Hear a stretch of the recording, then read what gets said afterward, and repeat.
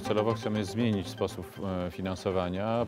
z mm, tak zwanego powszechnego ubezpieczenia zdrowotnego, co do którego w ogóle jest dyskusja, czy jest jakimkolwiek ubezpieczeniem,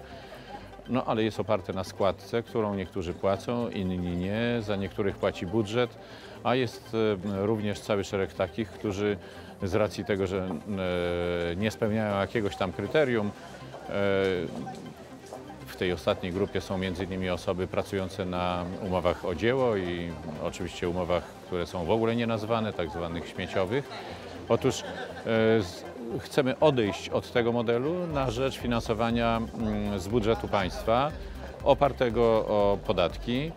które płacą również takie osoby, a zatem e, zmierzamy po prostu do mm, uprawnienia tak zwanego obywatelskiego, którym powinni być objęci po prostu wszyscy, wszyscy, którzy potrzebują e, pomocy lekarskiej, nie powinni się wahać ani przez chwilę, zanim nie pójdą do lekarza. Oczywiście to mm, stanowi szansę na to, żeby mm, już w okresie przejściowym,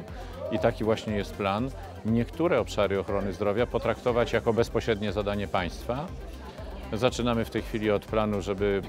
e, z powrotem finansowanie szczepień e, przenieść w koszt budżetu państwa, ale takimi obszarami, które byłyby e, planowane do kolejnych takich właśnie modułów, które należałoby wyjąć z systemu ubezpieczeń i przenieść do budżetu,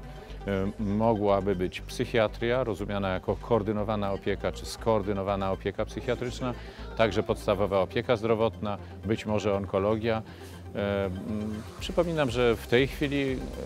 e, sprawa ta dotyczy na przykład ratownictwa medycznego, a zatem nie jest to coś, jakaś koncepcja zupełnie nowa, e, po prostu byłoby to rozszerzenie tego. Ale oczywiście oprócz tego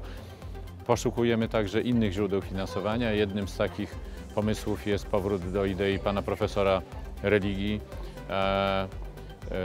przeznaczenia części odszkodowań z tytułu odpowiedzialności cywilnej kierowców na leczenie ofiar wypadków. E, No oczywiście w ogóle jest zamiar taki i to jest moje zadanie jako ministra zdrowia, aby przekonywać e, cały rząd, e, m, aby nakłady publiczne na